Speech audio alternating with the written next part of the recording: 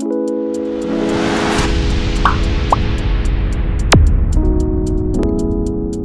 Você é muito louco. Qual que você ia contar a história do quê? Não é do Oito Infinito. Não, que eu comi o cu de um cara. Eu falei pra não contar o da Lesma, agora eu vou contar da pessoa que você pediu pra não falar também, filha da puta. Bom, Você, só pra saber, você fez a Os Lesma? caras Só tão pra saber. brincando. Não, não fez? Ah, tá, só pra saber. uma vez eu fui comer o cu do cara. Na hora que eu botei o pau, eu tirei só. eu- eu- Não, não, não, não, não, brother, não, não, não, cara. Saiu uma casca de feijão. Eu falei, pô, bicho, uma casca de feijão? Ele falou, por 10 reais você queria o quê? Filé com fritos? É.